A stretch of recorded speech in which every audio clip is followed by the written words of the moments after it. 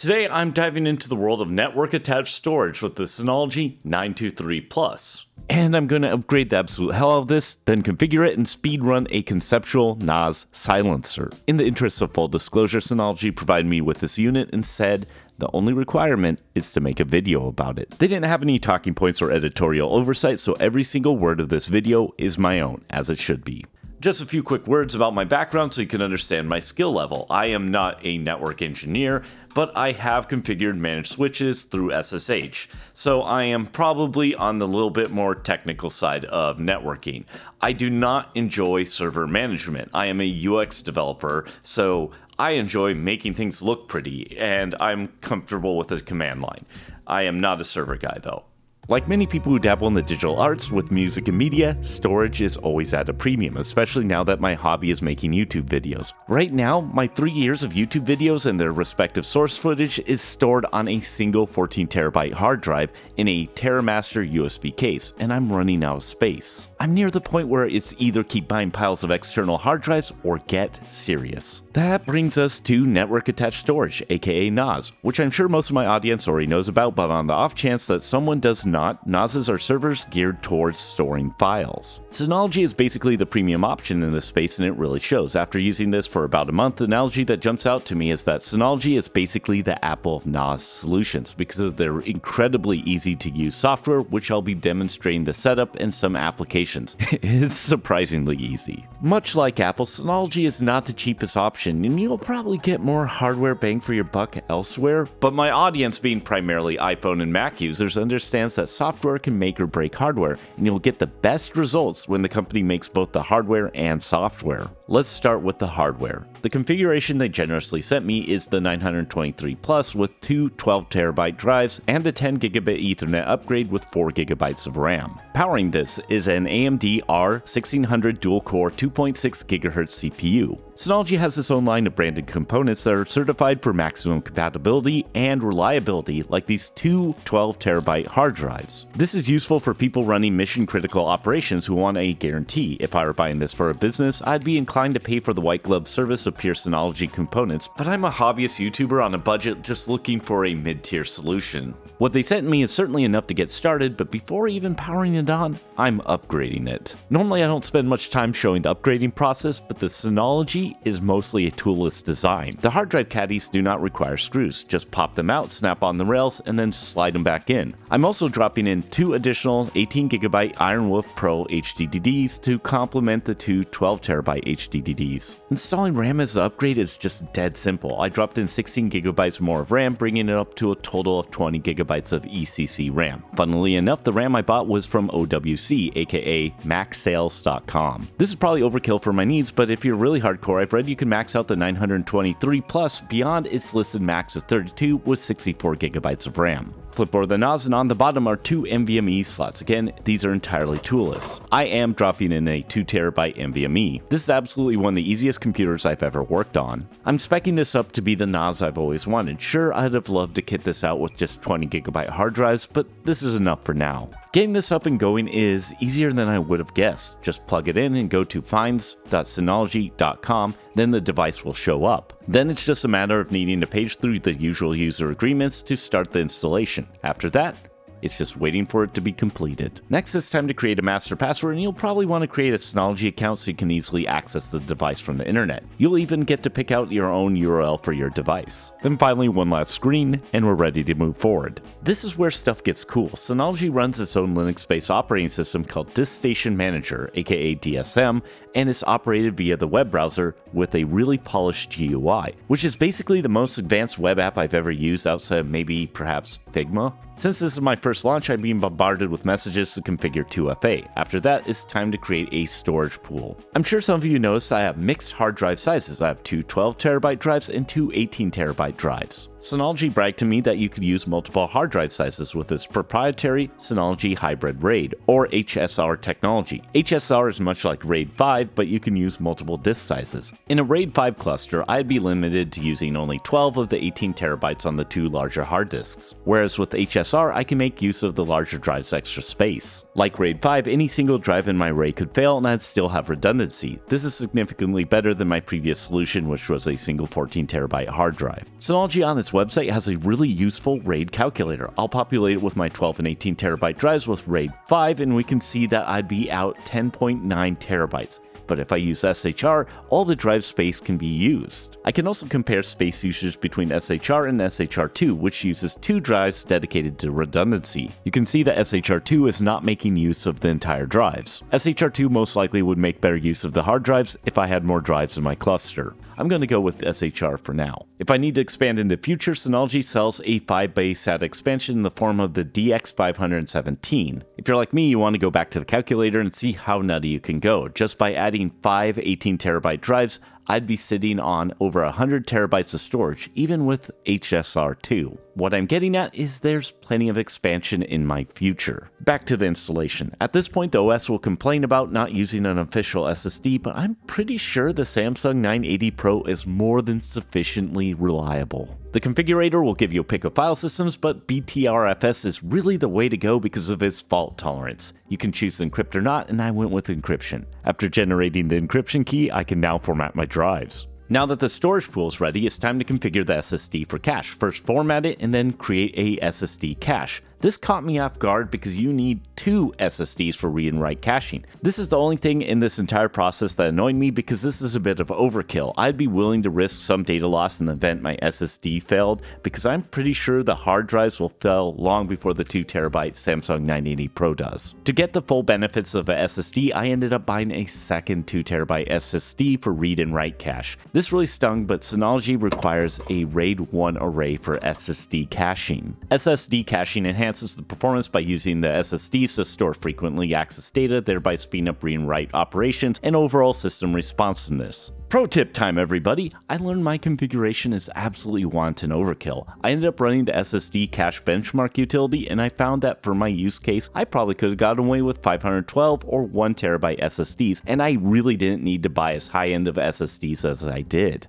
While I couldn't find direct information on the PCIe bus speeds, it appears that they are PCI 3.0 but run at 1x. That means SSD read and writes are capped at 1 gigabyte a second. The Ryzen embedded R1600 is only PCI 3.0, so that's not really a surprise, but it did list 8 lanes, so I kind of expected more speed. Only later did I discover the performance metrics on the website, and they list the SSD performance for the 923 as about 1.1 gigabytes per second. At this point, I'm nearly done, but first I need to open up FileStation and create a network volume. This is really straightforward, and I don't need to encrypt because I already am encrypting the volume volume itself. I'm going to add in enable data checksum for increased file integrity, but I'm going to skip file compression as this is for my YouTube videos and not deep storage. At this point, you could configure user permissions for volume so you can create access controls. Okay, finally I need to go to the control panel and file services and I need to enable SMB to share the volume to Mac and Windows, and the helpful UI will let you know the address on your network. At this point, it's finally good to go. I can go to my Mac and connect to server with the login and password, it'll mount my Synology, and from here I can start moving data into my storage pool. And with that, I'm finally done setting up the Synology to be a file server. At this point, you can poke around with the UI and you can check to see the diagnostics with the CPU RAM usage in the resource manager.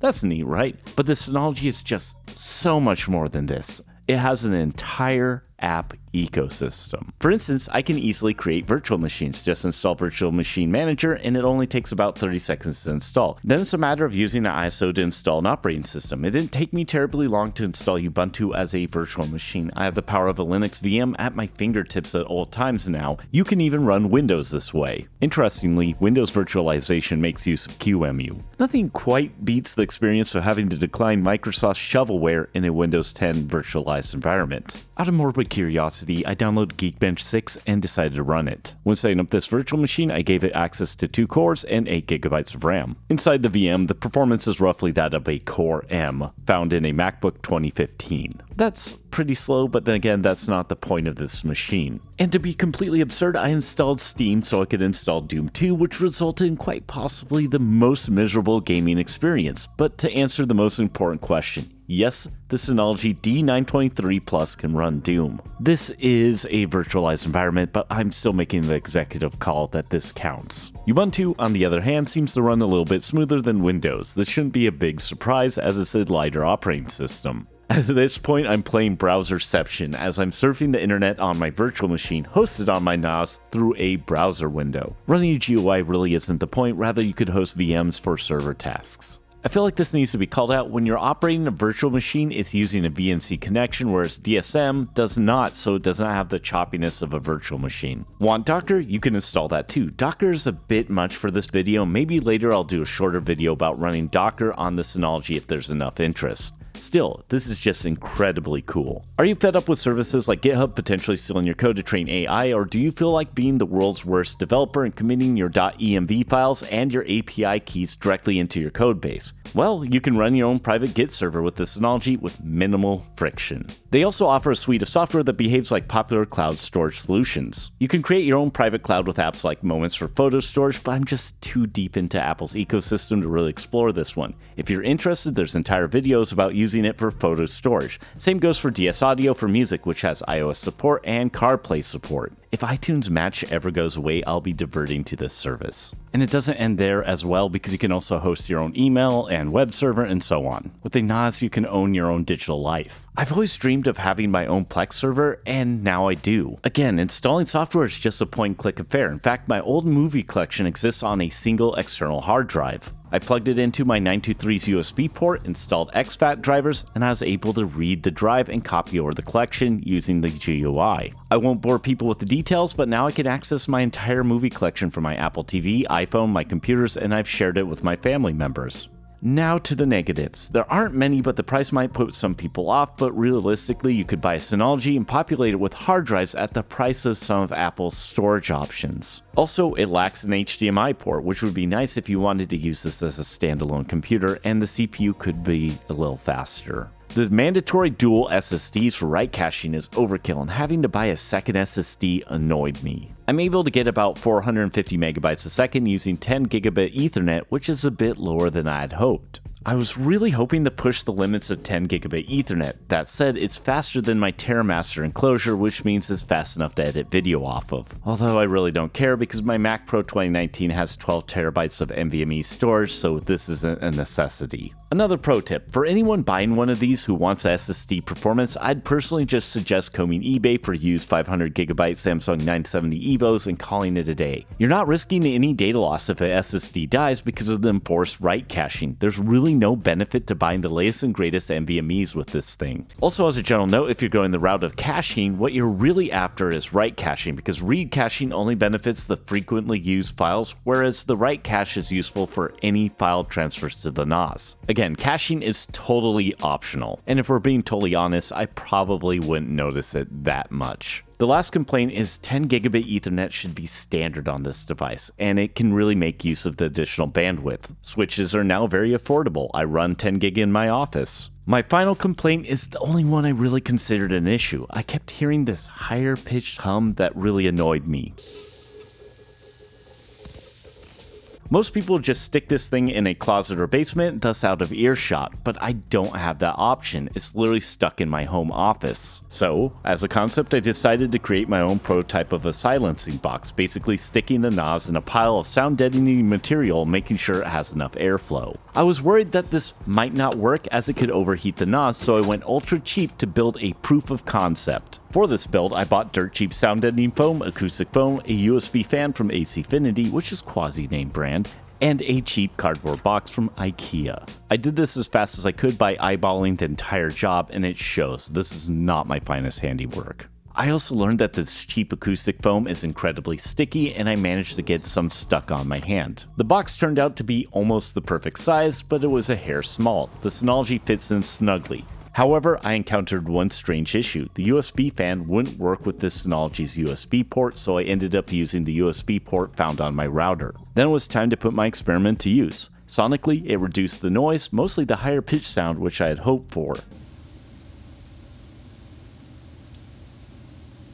Hey, this is Greg from the future, and I just figured I should point this out that this fan does have multiple fan settings. You have a low, high, off, After three weeks of use, the temperature barely changed, and I'm confident I could build a real box out of wood, buy name brand acoustic deadening material from someone like Dynamat or Soundskins, and then just make this thing really quiet without putting it at risk. Now to close this whole thing out, the Synology 923 Plus is probably my favorite piece of tech I've played with since my M1 Max. Basically, I have my own private cloud computer that I can access via the internet wherever I am. All my files are now accessible regardless of which computer I'm using. You can even access your files via iOS using their apps. There are competing solutions like Unraid or from vendors dipping their toes in the water, but Synology has the Apple advantage of its own OS and its own hardware. I need to mention that Synology does have one competitor that's very very similar with their own hardware and OS, and that's QNAP. It doesn't really make any sense for me to compare these two as I do not own or use any QNAP products, and there's quite a bit of content that covers the differences between the two companies. I feel obligated to mention that QNAP's reputation isn't that of Synology due to high profile ransomware attacks in the past, but it's on a bit of a redemption arc. Thus far, I haven't experienced any issues. Everything just works. While I have a tinkerer's mindset when it comes to old computers, I just don't enjoy server management. I want it to be reliable and pain free. Now for a bit of a tangent because inevitably people will ask me about this. This is a TerraMaster D4 300. All it is is a 4 drive bay USB-C case. It's not hardware RAID, it's not NAS, has zero additional features. Literally you plug in your hard drives and it'll show up in your OS like normal. All it has on the back is a single USB-C case and of course power supply for the hard drives. So there's not much to be said other than it was about $150. Now it's about $170, making it a little less attractive. It's more convenient than just having a pile of externals. oh yeah, when I first started YouTube, I almost made a dedicated video about this, then realized it'd be like two minutes long. While I did receive this unit from Synology, I invested $800 of my own money into this in the form of SSDs, hard drives, and RAM. There's just no world where this video breaks even or even makes a quarter of that back. I only bring this up because I would have not spent this kind of money upgrading it if I didn't love the product. Even while editing this video, I upgraded the RAM to 32GB as the OS will make use of free RAM for caching. I'm definitely buying into sunk cost fallacy as I already sunk so much money into the SSDs might as well go all the way with the RAM. What I'm trying to get at is I'm all in on the Synology and it's going to be part of my life from now on. I already know for a fact you'll see it in future videos from me. Honestly, I wish I would have invested in a NAS years ago because now that I have one, it generally improves my life. The DSM operating system is the real hero here. It's easy to use, stylish, and just check out how cool the responsive behavior is when I resize the browser window. That might not seem like much, but the UX developer me really appreciates it. This is my favorite piece of tech I've picked up in a long time as I'm storing my data with more confidence, I have greater access to it, and it's even faster than my current solution for storing old YouTube footage. I have a feeling one day when I retire my Mac Pro 2019, I won't replace it. Instead, I'll just have a laptop and a network attached storage solution. I'd like to thank my Patreons for keeping this mid roll ad free.